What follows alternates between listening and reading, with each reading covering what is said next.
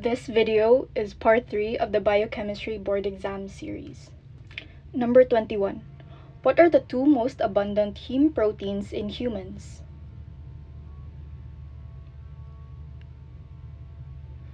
Okay, so the answer to this one is A, hemoglobin and myoglobin. So from the word itself, heme proteins are a group of proteins that contain heme as a prosthetic group. So the role of the heme group depends on the specific protein. So for example, the heme group of cytochrome oxidase is an electron carrier, while the heme group of the enzyme catalase is part of the active site of the enzyme that catalyzes the breakdown of hydrogen peroxide. And in the case of hemoglobin and myoglobin, the heme group serves to reversibly bind to oxygen. Number 22. The complex protoporphyrin 9 and ferrous iron is termed as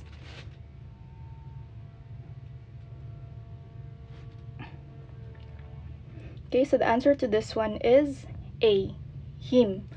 So heme is a complex of protoporphyrin 9 and ferrous iron so Fe2+. plus. As mentioned in the previous question, heme is the prosthetic group for heme proteins.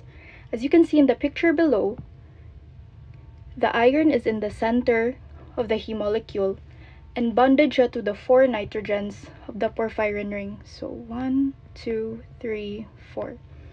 And as you can see sad, the heme iron can form two additional bonds, one on each side. So this binds to histidine and this is where oxygen binds to. So that's why we say hemoglobin and myoglobin are oxygen carriers. Number 23.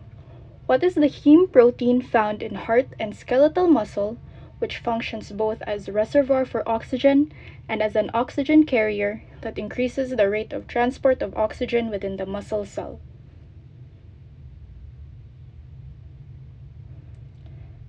Okay, the answer to this one is B, myoglobin. Number 24.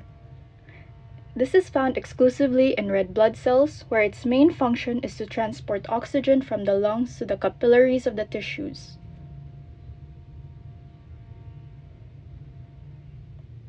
The answer to this one is D, hemoglobin. So now let's compare myoglobin and hemoglobin. So myoglobin and hemoglobin are both oxygen carriers.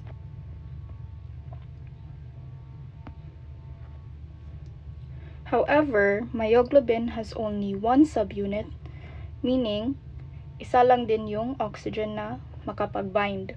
Hemoglobin on the other hand has four subunits, so four oxygen molecules. And these have different locations. Myoglobin is found in the heart and skeletal muscles, while hemoglobin is found exclusively in the red blood cells. Number 25. The major hemoglobin in adults comprising of four polypeptide chains held together by non-covalent interactions.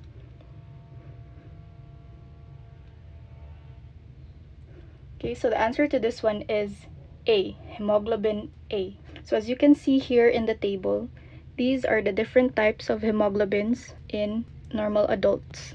So hemoglobin F is the major hemoglobin in the fetus.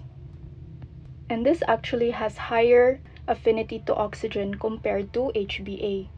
Why? Para mas mataas yung oxygen transfer from the circulation sa mother across the placenta to the red blood cells sa fetus. So mas madaming oxygen ang matatanggap sa baby. However, pag naging adult na, maging minor hemoglobin lang tong HbF. HbA2 naman, this is also another minor hemoglobin.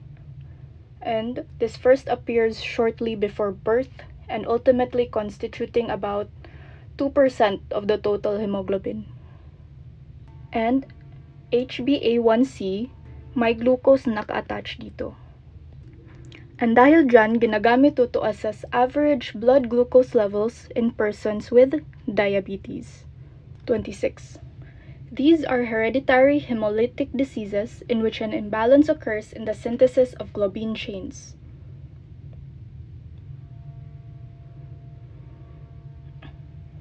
Okay, so the answer to this one is B, thalassemias. So, if we recall, hemoglobin has four subunit chains. Dalawang alpha chain and dalawang beta chain. So, alpha beta chains. So, normally, the synthesis of the alpha and beta globin chains ay coordinated. So, every alpha globin chain has a partner na beta globin. However, in the case of thalassemias, may problema sa paggawa ng either of the alpha or beta globin chains. So kung ang alpha ang may problema, it is called alpha thalassemias. Likewise, sa beta naman, beta thalassemias. Number 27. Oxidation of the heme component of hemoglobin to the ferric iron state forms Okay, so the answer to this one is B, methemoglobin. So normally, the heme component in hemoglobin is in the ferrous state. So, Fe2+. However, kapag na-oxidize yan, it becomes ferric. And kapag yung heme component maging ferric state, hindi yan makapag-bind ng oxygen. So this is now methemoglobin.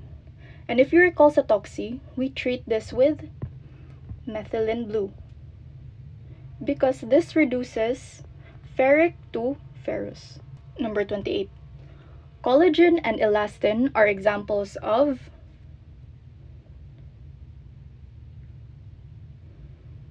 Okay, the answer to this one is A, fibrous proteins. Para hindi kayo ma-confuse, yung fibrous proteins, magkaiba yun sa globular proteins. Yung discussion natin kanina na hemoglobin and myoglobin these are globular proteins. So the obvious difference between fibrous proteins from globular proteins is the shape.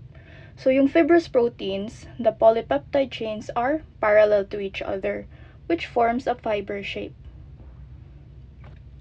Globular proteins, on the other hand, their polypeptide chains fold into each other, so it looks spherical. Number 29. What is the most abundant protein in the human body? So the answer to this one is C, collagen. So aside sa skin and hair, it is also in the extracellular matrix and in the vitreous humor sa eye. It is also in tendons, cornea sa eye, and in bones din. Number 30. Fibril forming collagens except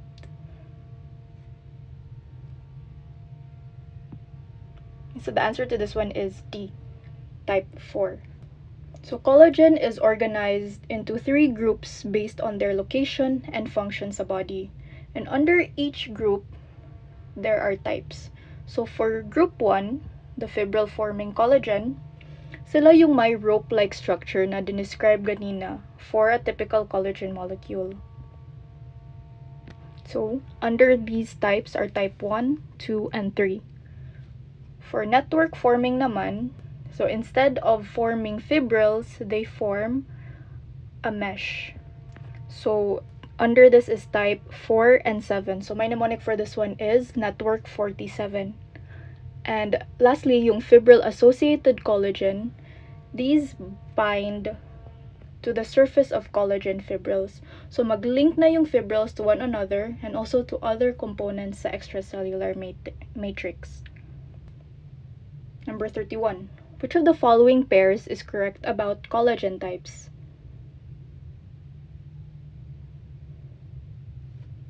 Okay, so the answer to this one is C fibril forming collagen. So to review, fibril forming is types 1, 2, and 3. Network forming is types 4 and 7. And fibril associated types 9 and 12.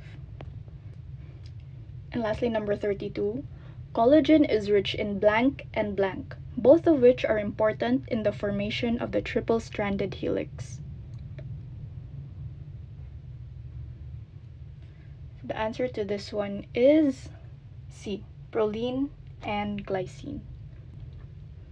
So collagen, as stated, is rich in proline and glycine. As you can see here, proline facilitates the formation sa helical conformation of each alpha chain because its ring structure causes kinks in the peptide chain. So glycine naman, which is the smallest amino acid, is found in every third position of the polypeptide chain. So here, small one, these are glycine.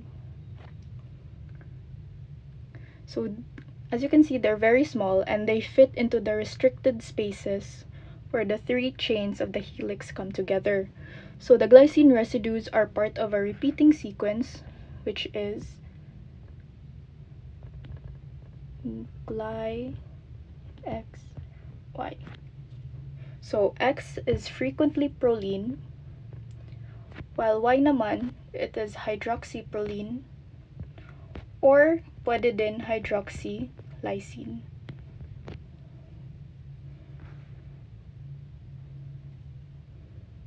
Okay, so that's it for part 3. Thank you for watching.